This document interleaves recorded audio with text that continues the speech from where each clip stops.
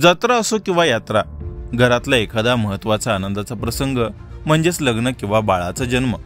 अशा महत्त्वाच्या क्षणांना गावाकडं अजून कुलदैवतेच्या दर्शनाला जाण्याची पद्धत आहे. किमान वर्षातून एकदा तरी या कुलदैवत किंवा कुलदेवीचं दर्शन घ्यायचं असा एक प्रघात आहे. पण हे कुलदैवत म्हणजे नक्की काय असतं आणि ते नेमकं कसं ठरतं तेच पाहूयात आजच्या या साध्या सोप्या व्हिडिओमध्ये. नमस्कार मी शुभम आणि तुम्ही पाहताय टिओडी मराठी प्रस्तुत साधं सोपं.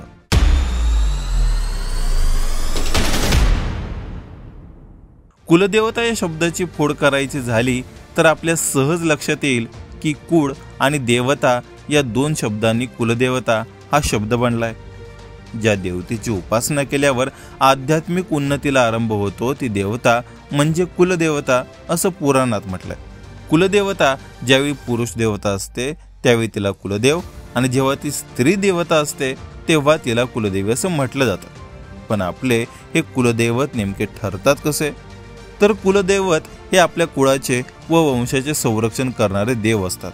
बहुतेक करून कुळाचे पूर्वज ज्या ठिकाणी पूर्वी राहायला होते त्या प्रदेशाजवळच्या परिसरातील प्रसिद्ध दैवत हे प्रामुख्यानं त्यांचं कुलदैवत असे. त्यासाठी वर्षातून एकदा तरी आपल्या कुलदेवी किंवा कुलदेवताच्या स्थानी जाऊन दर्शन घेतलं पाहिजे असं म्हटलं जातं. प्रत्येक घराण्याचं एक कुलदैवत असतं. बहुतेक घरामधून लग्न मुंज वास्तू मंगल कार्य अशा मोठ्या कार्यक्रमानंतर कुलदैवताला जाण्याची एक प्रथा आहे. कुळावरून कुलदैवत व कुलदैवतावरून कुळ ठरवलं जातं. पूर्ण कुळाचं एकच दैवत असण्याची शक्यता असते. कदाचित काही नातलं कुटुंबाचा एखाद्या गावाशी संबंध असावा. जिथं वस्ती केली तिथं एक देऊळ बांधलं गेलेलं असू शकतं.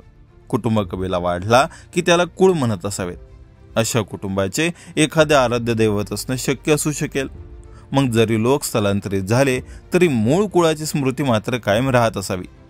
त्यामुळे तुमच्यापैकी अनेकांचे कुलदैवत हे जेजुरीचा खंडोबा तुळजापूरची आई भवानी तर कोल्हापूरची अंबाबाई असते हे देखील अगदी तसंच आहे.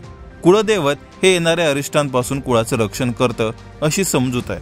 त्यामुळं जर आपल्याला कुलदैवत ठाऊक नसेल तर ज्या देवावर आपली श्रद्धा आहे त्या देवाचं नामस्मरण करावं असं म्हटलं जातं. ग्रामदैवत ही संपूर्ण गावाची दैवत तर कुलदैवत हे कुळाचं आणि इष्टदैवत. हे कोणतेही आवडणारे आपल्यावर कृपादृष्टी ठेवणारे दैवत असते. काही वेळा ग्रामदैवत हे कुलदैवत असू शकते पण ते तसं असेलच असा काही नियम नाही आहे कुलदैवत सगळ्या कुटुंबाला आपल्या घराण्याला आपल्या इतिहासाला आपल्या मातीला जोडणारा मुख्य धागा असतो. तर अशी आहे कुलदैवतेचा हा साधा सोपा अर्थ. तुमचं कुलदैवत नक्की काय आहे ते आम्हाला कमेंट बॉक्समध्ये नक्की सांगा.